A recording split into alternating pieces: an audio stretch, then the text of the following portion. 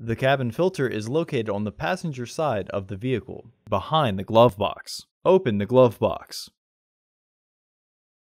Remove the screws using a Phillips head screwdriver.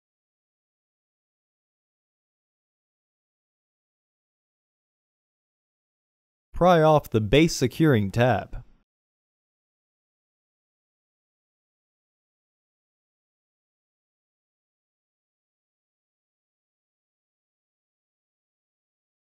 Pull the shelf so the tabs pop out of their catch. Unclip both sides of the housing cover to remove it.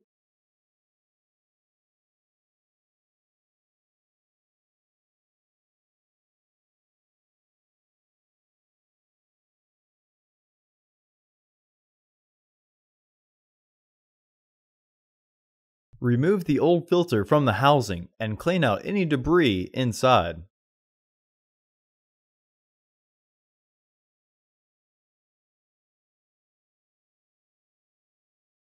Insert your new filter into the housing, with its airflow indicating arrow pointing down.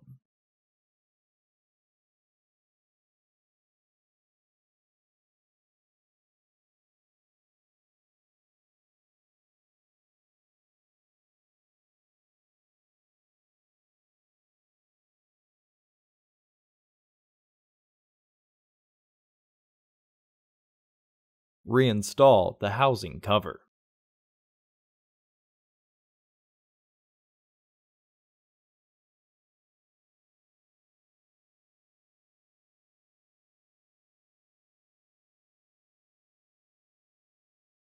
Clip the shelf back into the glove box.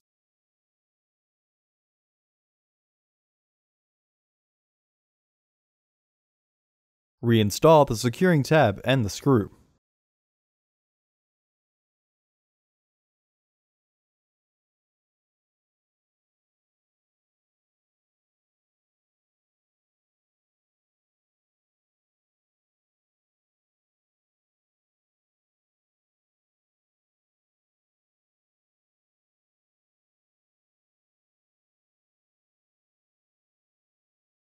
Close the glove box.